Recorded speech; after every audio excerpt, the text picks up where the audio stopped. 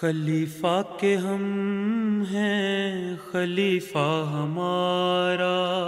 वो दिल है हमारा आका हमारा।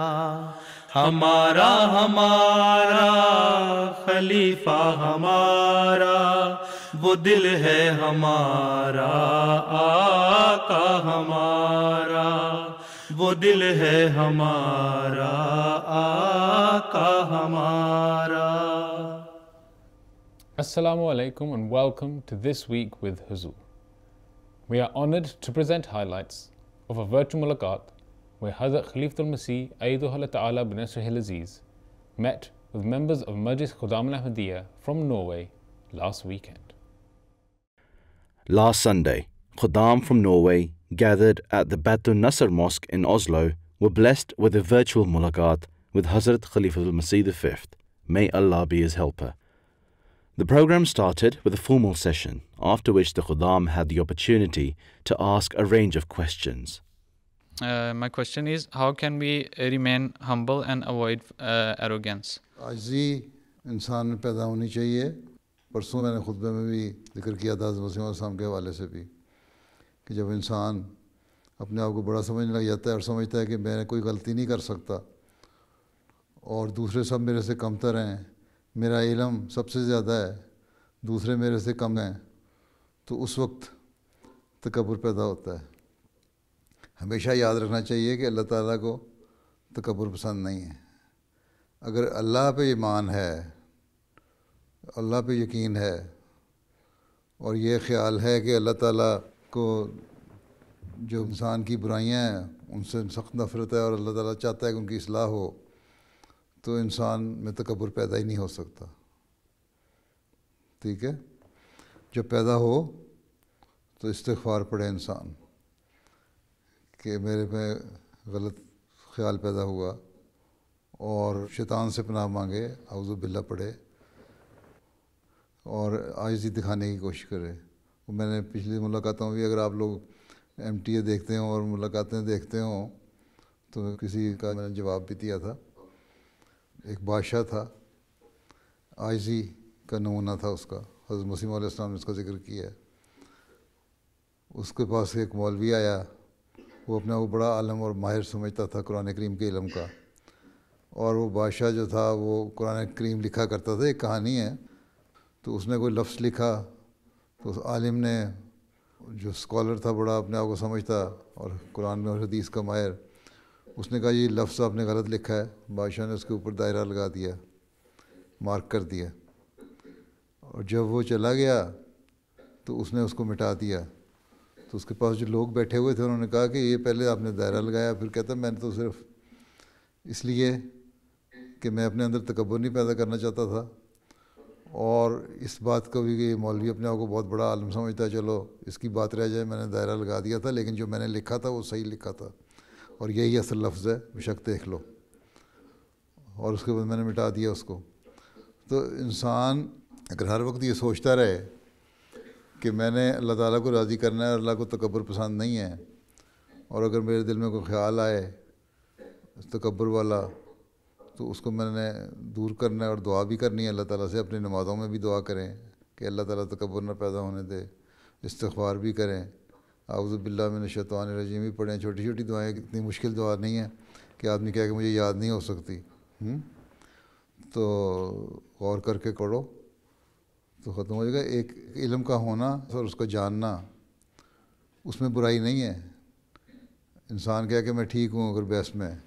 लेकिन जहाँ तकबर पैदा हो जाए कि मैं ही ठीक हूँ, बाकी सब गलत हैं, या कोई बहस हुई किसी से और वहाँ आप की जो दलील थी वो सही साबित हुई और दूसरे की दलील गलत साबित हुई और लोगों ने कहा हाँ आपकी दलील सही है।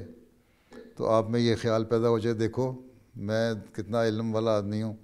मैंने उस शख्स को नीचे दिखा दिया और मैं उसे बहस में जीत गया। मेरा इलम उससे ज़्यादा है। इन बातों से तकबर पैदा होता है। तो इनसे बचना चाहिए।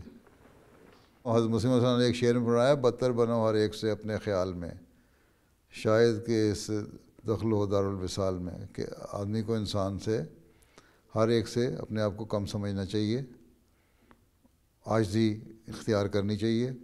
अल्लाह ताला को राज़ी करने का यही तरीका है। अगर इंसान के दिमाग में ये हो ना कि मैंने अल्लाह को राज़ी करना है तो फिर तकबर नहीं आता। अगर इंसान को ये हो कि मैंने अपनी दुनिया को दिखाना है कि मैं कितना इलम रखता हूँ या दुनिया को दिखाना कि मेरे पास फ़लाँ चीज़ है और फ़लाँ आदमी के पास नहीं है तो उससे फिर तकबर पैदा होता है। ठीक है? हुजूर चलो अलैक्म हजूर मेरा सवाल ये है कि हज़रत खलीफतुल मसीह राब रहमुल्ला अपनी किताब revelation rationality knowledge and truth में फरमाते हैं कि इल्हाम भी दरअसल इंसान की नफसियाती कैफियत का एक अमल है। फ़र्क ये है कि ये अमल सिर्फ़ और सिर्फ़ खुदा तला के हुक्म और इरादे से वकू पजीर होता है।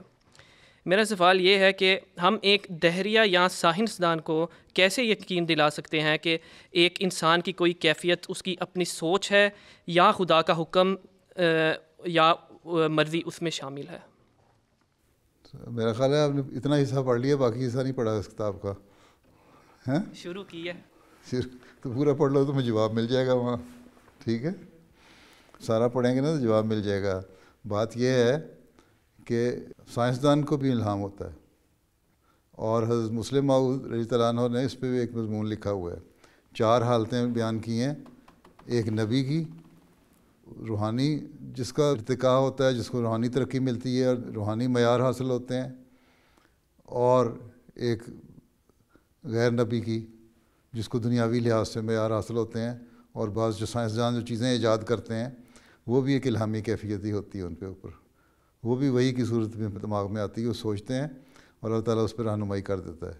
अगर उर्दू पढ़नी नहीं आती ना तो उसका इंग्लिश तर्जमा भी इस मजमून का मेरा ख्याल है, पिछले साल के दिसंबर के जो था ना रिव्यू रिलीजन, उसमें मुस्लिम मौत का ये मजमून भी है। तो छोटा सा दो तीन सफ़े हैं, वो पढ़ लेंगे तो आपको जवाब भी मिल जाएगा उसमें। कि गैर नबी को किस तरह इल्हाम होता है और नबी को किस तरह होता है। वही दलील आप दूसरों को दें कि तुम्हारी जो सोच है, वो जब सोचता है इंसान, उस पर गौर करता है तो वो इल्हामी कैफी तारी हो जाती है। मुस्लिम इंसान ने लिखा है कि बाद दफ़ा कुरान करीम की आयतें भी बाद लोगों को इल्हाम हो जाती हैं। और ज़रूरी नहीं कि बहुत बड़े नेक आदमी को हो, आम आदमी को भी हो जाती हैं तो उसको बताने के लिए कि अल्लाह ताला वही करता है और नाजल करता है। आम जो अक्लमंद इंसान है, वो तो सोच लेता है कि हाँ अगर मुझे वही हो सकती इस तरह और नाजल हुआ है तो नबियों को भी होती होगी। और अल्लाह ताला भी इस तरह अपनी शरीत उतारता है और बताता है।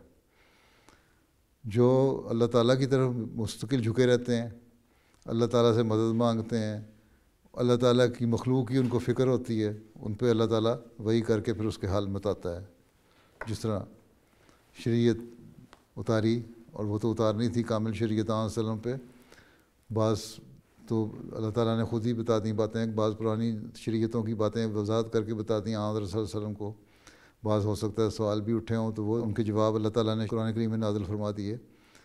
इसी तरह बाकी हम पे आगे साथ होता है। तो वही और इल्हाम इसी तरह होता है। इसी तरह साइंसदान सोचते हैं और सोचने के बाद एक पीस जब गौर कर रहे होते हैं तो उसके बाद एकदम उनके जहन में ख्याल आता है। जो उनके जहन में ख्याल आता है, जैसा अशमीदत कहता जी मैं नहा रहा था और एक मसला उसे हल नहीं हो रहा था। उसने, उस खाने में नहाते नहाते उसको जो नहाते हुए ख्याल आया कि वो ये मसला इस तरह हल होता है। उसने कहा पा लिया पा लिया और उस खाने से बाहर निकल गया, नारे मारता हुआ कि मैंने मसला हल कर दिया। इसी तरह और साइंसदान है। ठीक है? हम ये कहते हैं कि जब वो सोचते हैं किसी बात को और उस पर गौर करते हैं और वो फ़ायदे के लिए होती है तो अल्लाह ताला उनकी मदद करता है। और उनको उसका हल समझाता है। और जो हल समझाता है अल्लाह ताला, उसी का नाम इल्हाम है, वो सेकुलर लोगों के लिए इल्हाम है। वो रूहानियत से वही उसका तल्लुक नहीं, उसका दुनिया से ताल्लुक़ है। तो ये चीज़ें साथ साथ चल रही है, एक रूहानियत की दुनिया, एक मादी दुनिया। जहाँ रूहानी दुनिया में अल्लाह ताला इल्हाम के ज़रिए से समझाता है, वहाँ मादी दुनिया में भी नई ईजादें करने वालों को इल्हाम के ज़रिए से समझाता है। ठीक है? यही बात उनको कहनी कि तुम जिसको कहते हैं, तुम्हारे दिमाग ने सोचा। हम उसको कहते हैं, ये तुम्हें अल्लाह ताला ने तुम्हारे दिमाग में डाला और ये इल्हामी कैफियत है। ठीक है? और यही नफ्सियात इंसान की है। जब वो सोचता है तो उसका वो हल अल्लाह ताला फिर उसको बता देता है। तो बहरहाल मुस्लिम मौत का एक मजमून है इस पर वो भी पढ़ लो। और इसको भी गौर से पढ़ो, रेवोल्यूशन वाली किताब को तो आपको जवाब तफसीली भी वहाँ से मिल जाएगा। ठीक है, हजूर। हजूर। हाँ, अलैक्म मेरा नाम डॉक्टर बासिल अहमद महमूद है। मैं वक्फ नो और जनरल मेडिसिन और कार्डियालजी में स्पेशलाइजेशन कर रहा हूँ। हजूर एमरजेंसी ड्यूटीज़ के दौरान मैं नमाज़ नहीं पढ़ सकता। तो ड्यूटीज़ के बाद डे शिफ्ट के बाद मैं नमाज़ इकट्ठी पढ़ता हूँ नाइट शिफ्ट के लिए घर से पढ़ के जाता हूँ। तो मेरी नमाज़ हो जाती है। बात यह है कि अगर तो एमरजेंसी उस वक्त मौके पर हो तो फिर तो नमाज़ छूट गई और नमाज़ आपने चार जमा कर ली तो ठीक है। जिस तरह आद रसम के ज़माने में एक दफ़ा जंग के हालत तारी हो गई और सारा दिन जंग की हालत रही और नमाज़ों को वक्त नहीं मिला तो आपने शाम को तीन नमाज़ें इकट्ठी करके पढ़ी, ज़ोर असर मगरब के साथ। जो बाज़ कहते हैं ईशा भी पढ़ी। तो बहरहाल वो एक हंगामी सूरत हाल है। हाँ एमरजेंसी ड्यूटी आपकी लगी है, आप बैठे हुए हैं अस्पताल जाके।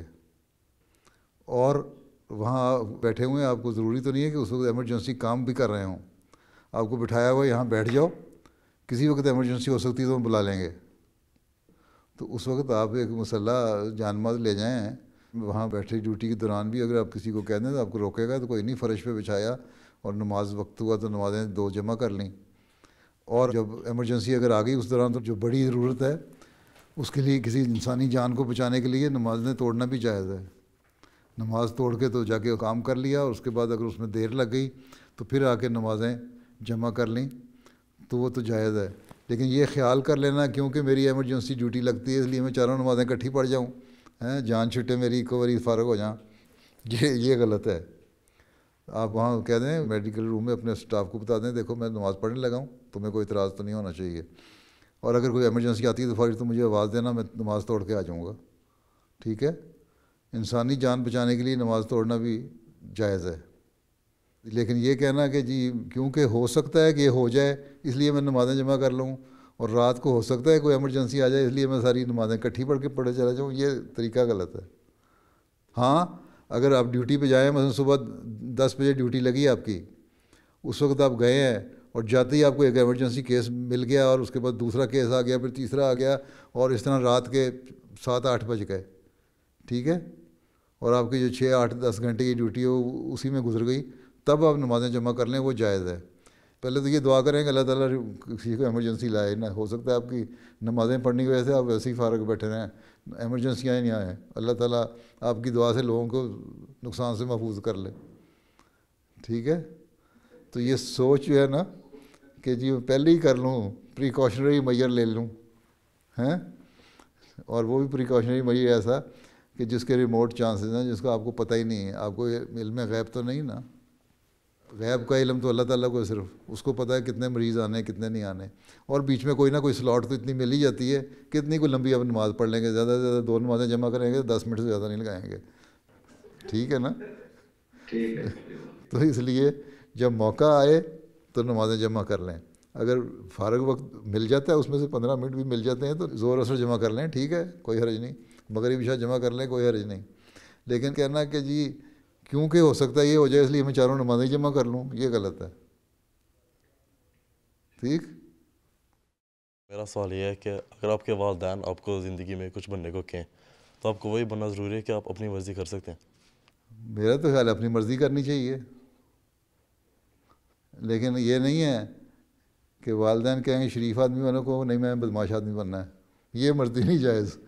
हाँ अगर वालदेन कहे तुम डॉक्टर बनो, और आप कहें नहीं मेरा दिल चाहता है मैं लॉयर बनूँ या इंजीनियर बनूँ, या मैं इकोनॉमिस्ट बनूँ, या कोई ऐसी चीज़ जो आपको दिल चाहता है और आपका उस तरफ़ टेंडेंसी है इंक्लाइंड है उस तरफ़ ज़्यादा दिमाग तो वो बनना चाहिए इंसान को जिसमें दिलचस्पी हो। इसलिए मेरे से जब कोई पूछता है ना कि मैं क्या बनूँ, मेरे पास ये चॉइस है तो मैं कहता हूँ जिसमें आपका सबसे ज़्यादा इंटरेस्ट है ना वो पढ़ाई करें।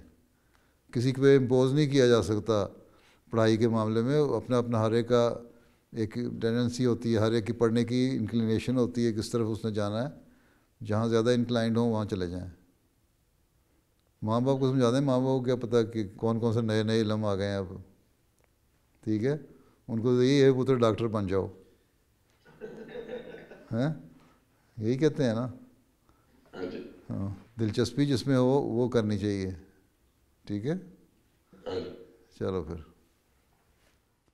मेरा सवाल यह है कि जब आप एक खादिम थे तो आप जमात की कैसे खिदमत करते थे?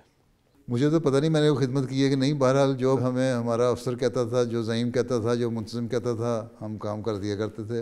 मैं ज़ईम भी रहा हूँ मैं मुंतज़म अतफाल भी रहा हूँ मैं नाज़म भी रहा हूँ रबा की मुकामी मजलिस में।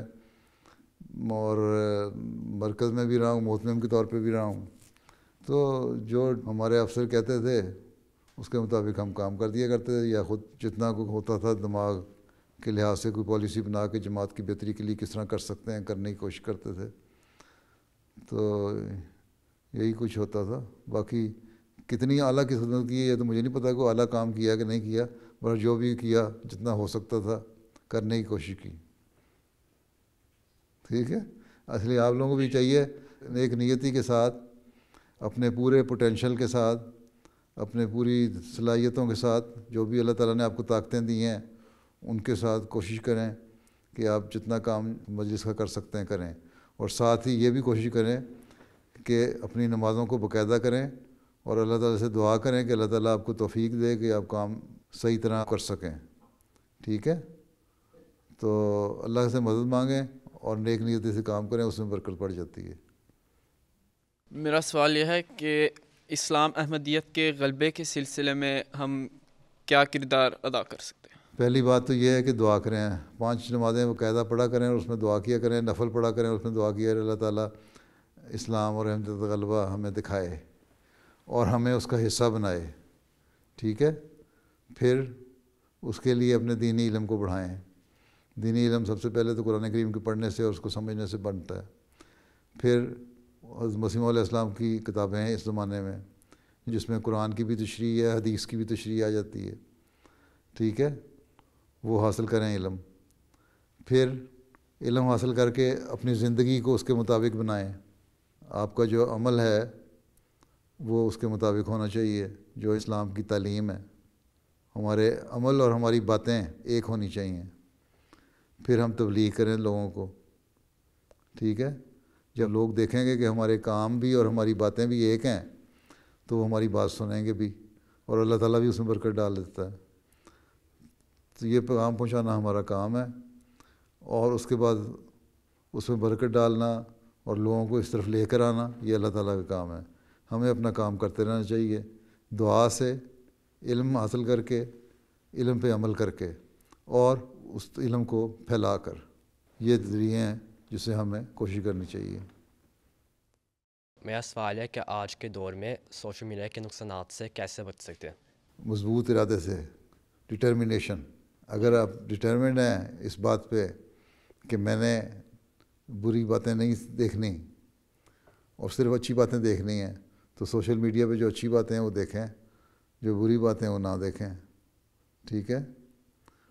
और इसका अच्छा इस्तेमाल भी तो है ना सोशल मीडिया का। ठीक है? वो अच्छा इस्तेमाल होना चाहिए। जमात की अपनी वेबसाइट्स हैं, उनके ऊपर जाएँ। जमात की भी फेसबुक के ऊपर सवाल जवाब होते हैं, उसके ऊपर जाएँ। अपने दिली इलम को बढ़ाएँ। और अल्लाह ताला ने कहा है कि जो लगवियात चीज़ें हैं ना, फजूल किस्म की बातें, इनसे परहेज़ करो। एक मोमिन जो है, एक सही ईमान लाने वाला जो है उसको जो फजूल किस्म की बातें हैं, उनसे बचना चाहिए। तो आप अक्लमंद आदमी हैं, माशाल्लाह, नौजवान आदमी हैं। सोच समझ के देखो कि क्या चीज़ अच्छी है और क्या बुरी है।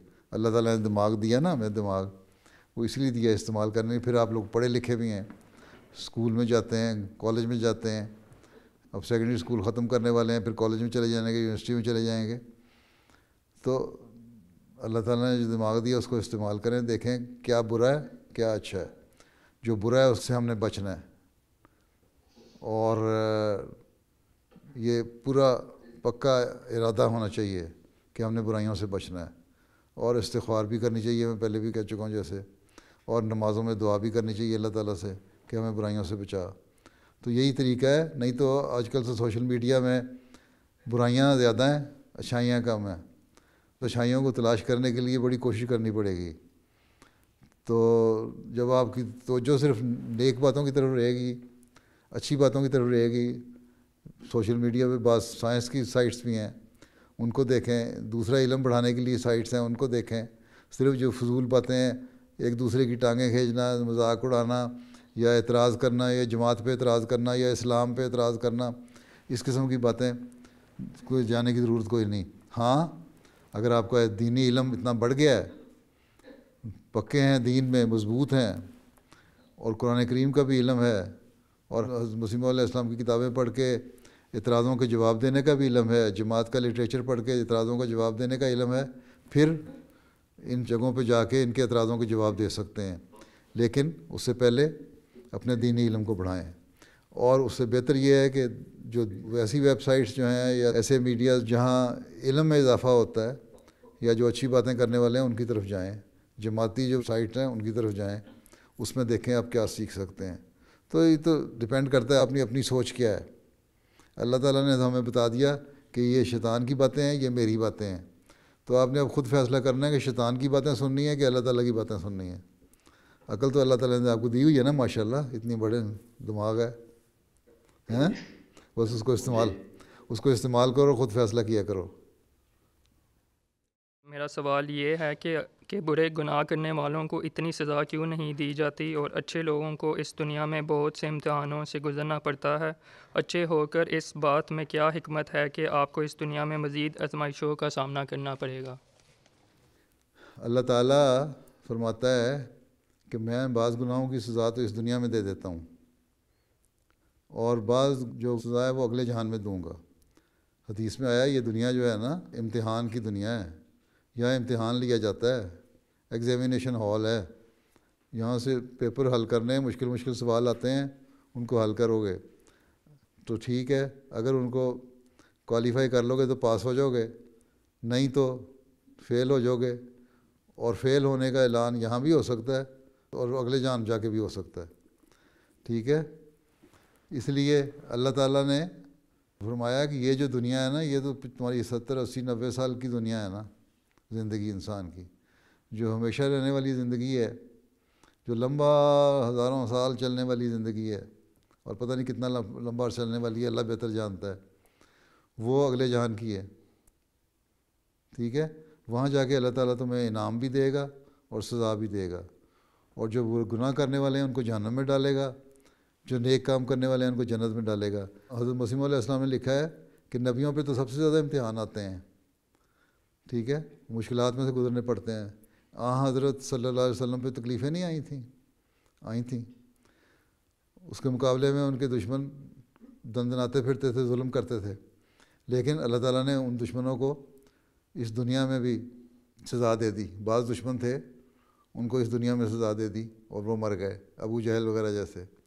बाज़ दुश्मन थे, अबू सुफियान जैसे, जिनको इस दुनिया में सज़ा नहीं मिली। कोई उनकी नेकी पसंद आ गई और अल्लाह ताला ने उनको इस्लाम कबूल करने की तोफ़ी दे दी और वो बख्शे गए।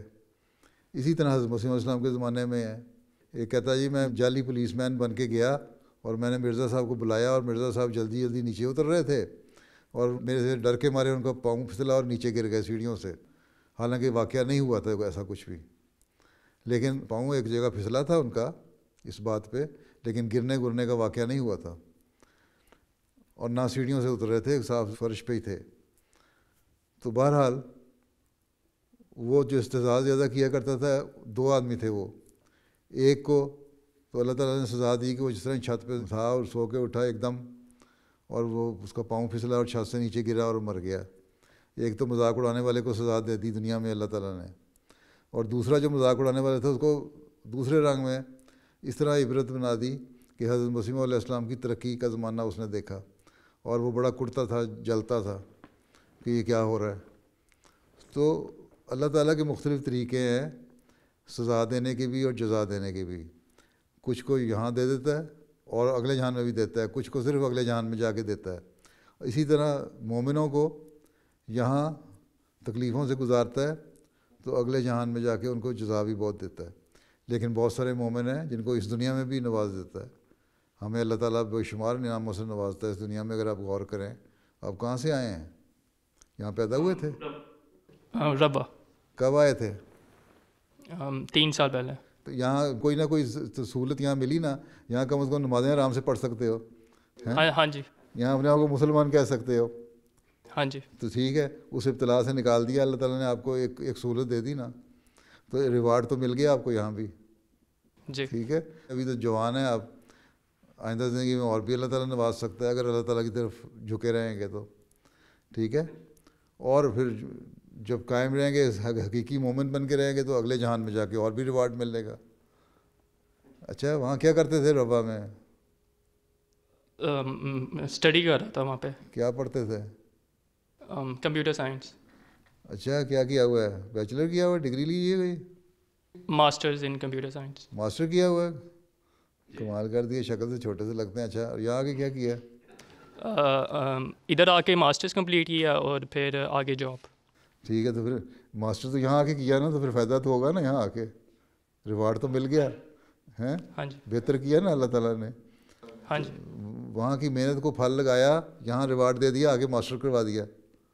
और हाँ जो, और जॉब भी मिल गया यहाँ। जी यस फिर ये देखो अल्लाह ताला ने अगर वहाँ से मेहनत की थी इतनी उसका रिवार्ड दे दिया यहाँ आके। तो अगर इंसान सोचे तो हर इंसान का हर लम्हा जो है हर दिन जो चढ़ता है वो अल्लाह ताला के फजलों को ही लेके आता है। ये कहना गलत है कि नेक आदमी को इस दुनिया में नहीं मिलता और बद आदमियों को मिल जाता है। बाकी ये दुनियादार जो है ये दुनियादारों को तो अल्लाह ताला ने देना था। अल्लाह ताला तो ये कहता है, ये दुनियादार समझते हैं कि इनको हमने दौलत दे दी, पैसा दे दिया और सहूलतें दे दी साइंसें दे दी तो इन्होंने बड़ी तरक्की कर ली। ये तो मैं इनको सज़ा देने के लिए, इब्तदार में डालने के लिए एक समान कर रहा हूँ। जो गुनाह ये करते हैं ना, उसका उनको सज़ा मिलेगी। चाहे वो सज़ा मैं इस दुनिया में दूँ या अगले जहान में जाके दूँ। इसलिए तुम मोमनो फ़िक्र ना करो। इनको ज़रूर सज़ा मिलेगी। तुम अल्लाह को हमेशा याद रखो। ठीक है? प्यारे जोन मेरा सवाल ये है कि हम इस तरह के आजकल के माहौल में अपनी औलाद की नेक तरबियत कैसे करें? मैं कुछ अर्सा पहले पाकिस्तान से आया हूँ तो यहाँ पे माहौल काफ़ी डिफरेंट है बहुत ओपन है। तो क्या हम करें जिससे हमारी औलाद सरात मुस्तकीम पे चले? यहाँ भी लोग रहते हैं उनके बच्चे अच्छे भी हैं। उसके लिए ये है कि माँ बाप जो हैं वो ख़ुद अपना नमूना बच्चों के सामने पेश करें। अगर बाप नमाज़ पढ़ने वाला है, अगर बाप कुरान पढ़ने वाला है और अपनी बीवी को भी कहता है और बच्चों को भी कहता है तो नमाज़ भी पढ़ो और कुरान भी पढ़ो। अगर बाप अखलाकी लिहाज से अच्छा है, अपनी बीवी को भी कहता है, हमारे अच्छे अखलाक अच्छे होने चाहिए और बच्चों को भी कहता है अच्छे हैं। अगर बाप यहाँ के माहौल के मुताबिक बच्चों से दोस्ती रखता है और उनसे हर बात शेयर करता है, उनके उनमें ये कॉन्फिडेंस पैदा कर दे कि तुमने जो बात से बातें सुननी है, मुझसे आके शेयर करनी है और फिर उनको हौसले से सुनना है और फिर उसको डिस्कस करना है। फिर उनके अगर जो डाउट्स हैं, उनको रिमूव करना है। तो इस तरह आप तरबियत कर सकते हैं। अगर बच्चों को छोड़ देंगे, अपने काम में काम रहेंगे अच्छा सिर्फ़ पैसे कमाने हैं तो चौबीस घंटे में से अठारह घंटे काम की दिहाड़ी करो। बीवी को तुम भी बात दस घंटे काम करो, पैसे कमाओ ताकि हम घर ले सकें और घर की मॉर्गेज अदा कर सकें और फिर हम इतने पैसे जोड़ सकें।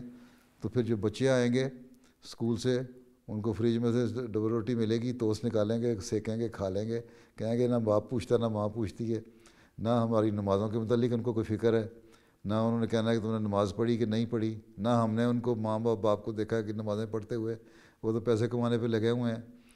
तो फिर हमने क्या करना, चलो ठीक है इसमें दुनिया का माहौल इस तरह का ये इसी रहो तो ये जो चैलेंज जो है तो फिर आप तो ख़ुद उनको खुद धकेल रहे होंगे ना उसमें।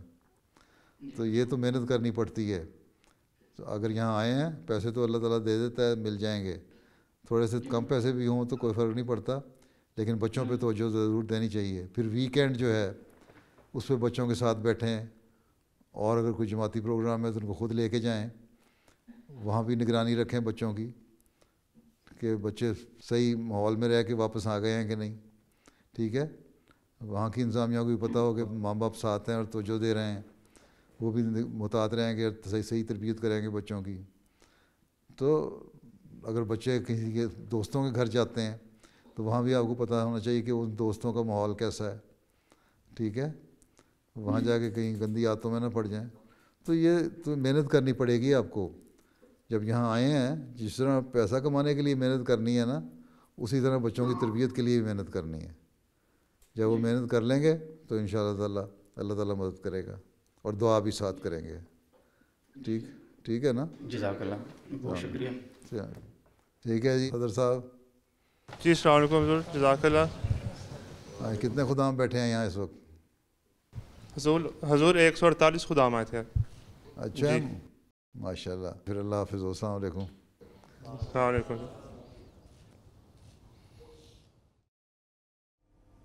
Those were highlights from a virtual mulaqat that took place last weekend.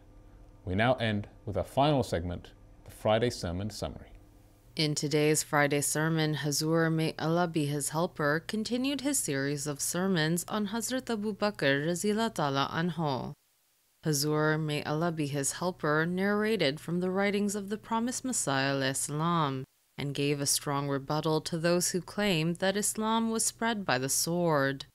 हज़रत मसीम फरमाते हैं कि मैं नहीं जानता कि हमारे मुखालफों ने कहाँ से और किससे सुन लिया है कि इस्लाम तलवार के दौर से फैला है। खुदा तो कुरान शरीफ में फरमाता है, ला इकराहा फिद्दीन यानी दीन इस्लाम में जबर नहीं। तो फिर किसने जबर का हुक्म दिया? और जबर के कौन से सामान थे? और क्या वो लोग जो जबर से मुसलमान किए जाते हैं, उनका यही सिद्क और यही ईमान होता है कि बग़ैर किसी तनख्वाह पाने के, बावजूद दो तीन सौ आदमी होने के, हज़ारों आदमियों का मुकाबला करें? और जब हज़ार तक पहुँच जाएँ तो कई लाख दुश्मनों को शिकस्त दे दें और दीन को दुश्मन के हमला से बचाने के लिए भेड़ों, बकरियों की तरह सर कटा दें और इस्लाम की सच्चाई पर अपने खून से मोहरें कर दें और खुदा की तोहद के फैलाने के लिए ऐसे आशिक हों कि दरवेशाना तौर पर सख्ती उठाकर अफ्रीका के रेगिस्तानों तक पहुँचें और उस मुल्क में इस्लाम को फैला दें और फिर हर एक किस्म की सोबत उठाकर चीन तक पहुँचें। ना जंग के तौर पर, बल्कि महज दरवेशाना तौर पर। और उस मुल्क में पहुँच कर दावत इस्लाम करें, जिसका नतीजा ये हो कि उनके बाबरकत वास से कई करोड़ मुसलमान उस ज़मीन में पैदा हो जाएँ और फिर टाट पोश दरवेशों के रंग में हिंदुस्तान में आएँ और बहुत से हिस्से आर्यावर्त को इस्लाम से मुशरफ कर दें और यूरोप की हदूद तक ला इल्लल्लाह की आवाज़ पहुँचा दें। तुम ईमानन कहो कि क्या ये काम उन लोगों का है? जो जबरन मुसलमान किए जाते हैं, जिनका दिल काफिर और ज़ुबान मोमिन होती है। नहीं, बल्कि ये उन लोगों के काम हैं जिनके दिल नूर ईमान से भर जाते हैं और जिनके दिल में खुदा ही खुदा होता है।